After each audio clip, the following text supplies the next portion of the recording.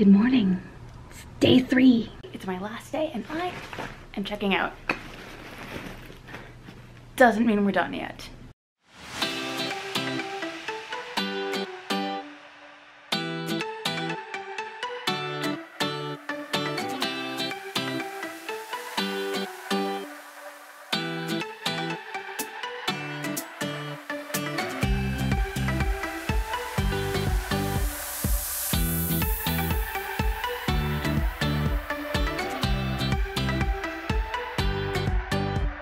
Feel like I should mention that it is slightly cold and slightly windy. I'm doing okay, but I just came from 40 degree weather, so for me this is just a little brisk. you know, better to be prepared.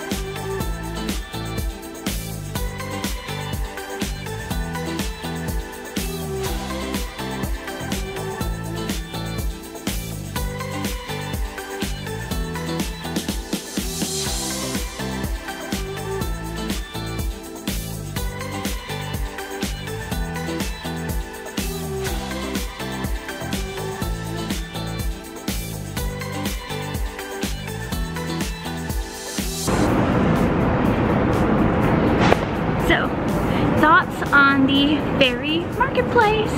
I'd say explore. So, I mean, I'm glad I got to go to Dandelion and I got to have the hot chocolate. I got the European sipping chocolate, which dunking that in the cannelé, best idea ever. So thank you. I should have gotten their name to the person who suggested that at Dandelion. But my, my biggest recommendation is really to actually explore. A lot of the places open at different times. So I did go to Out the Door for a bao, but the tea place had gorgeous looking bao. And if I'd waited a half hour, I could have had one of those. Though I also like that it was maker-centric. With Pike Place, the farmers and the makers are mixed in, and this is really, really maker and restaurant-centric. So if you're someone who wants to try a lot of the local bakeries and makers, they even had gluten-free maker, they had La Cocina, which is an amazing incubator kitchen, and you don't have to go far to try them all, and I did really like that. I really should have planned better. This is a pudding store. Pudding! Well, this says pot de creme, but that's pudding. I could have had it all.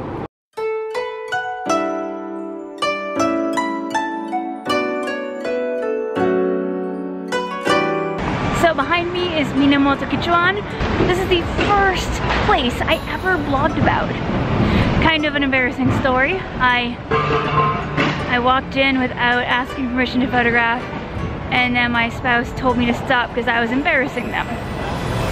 then I spent 50 bucks on candy and that was the beginning. It's Their stuff is a little sweet for me now, but I will go in and see what we've got and ask permission first.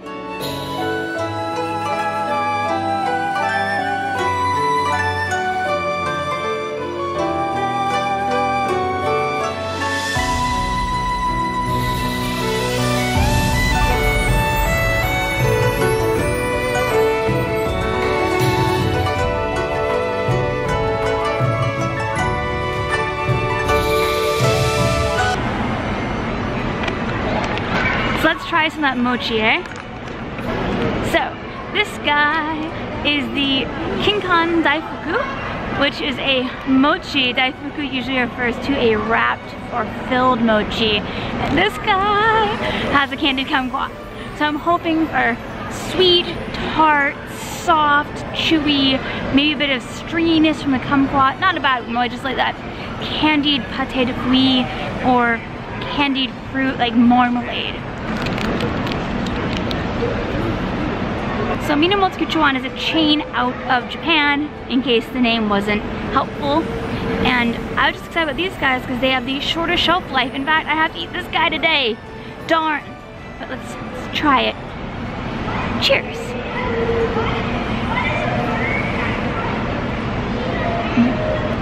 I didn't reach the kumquat yet. This tastes like white bean inside and it's very soft. Like a little bit of grit. Kind of reminds me of eating dirt in a good way. Like, like this grit of persimmon. Let's try just the mochi by itself. So this isn't super duper soft mochi, we're gonna be truthful. But I mean, it expires today. It's got a bit more of a hard chew than the soft chew you get, like that melting chew of super duper soft mochi. But it's good. So yes. We have a whole candied kumquat in here and it is tart. I love that sweet tart contrast. It does taste like eating, like if you had orangettes or just straight up marmalade, but tart. It's very lovely.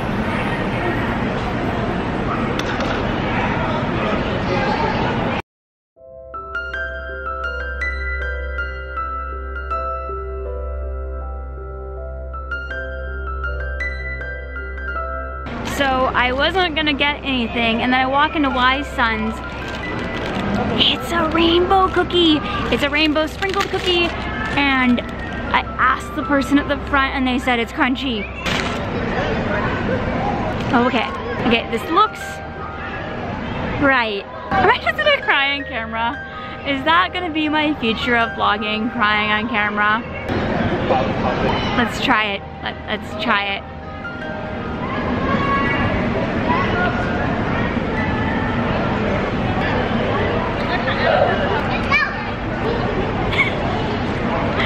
it's right. This is the closest I've gotten to a cookie I haven't had since I was 10.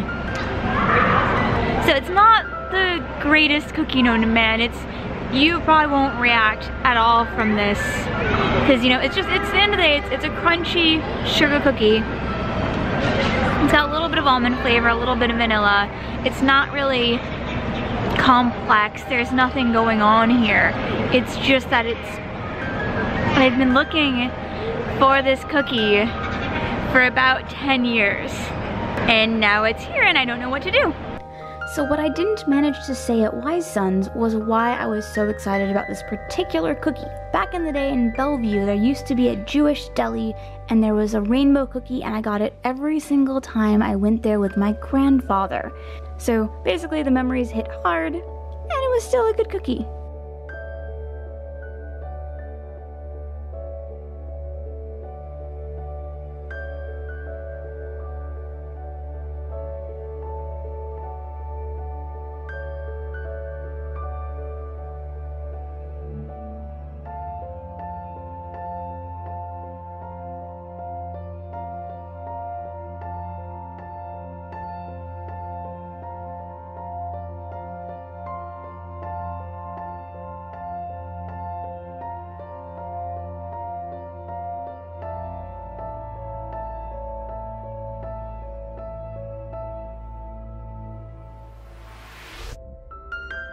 So I just got through security. I did my favorite part of going through SFO.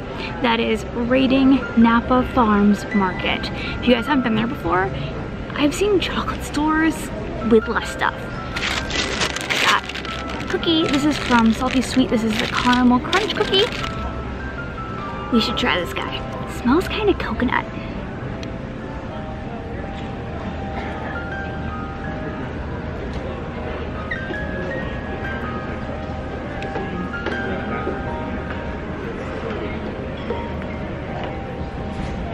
Super chewy, super caramel, almost molassesy cookie with a nice hit of salt. I feel like the flavor profile is slightly more butterscotch than toffee, but tasty. I would love it with a glass of milk though, because it is very, very sweet. Because the salt is only like one line across cookie, and needs that salt to really bring out the contrast of the toffee. And that's it. I'm heading home. I should again say thank you to Alaska for the free ticket and which was quite awesome of them and I'm glad to be going home. I admit that I am quite tired so I'll try and do a wrap up tomorrow when I get back. I've got a late flight.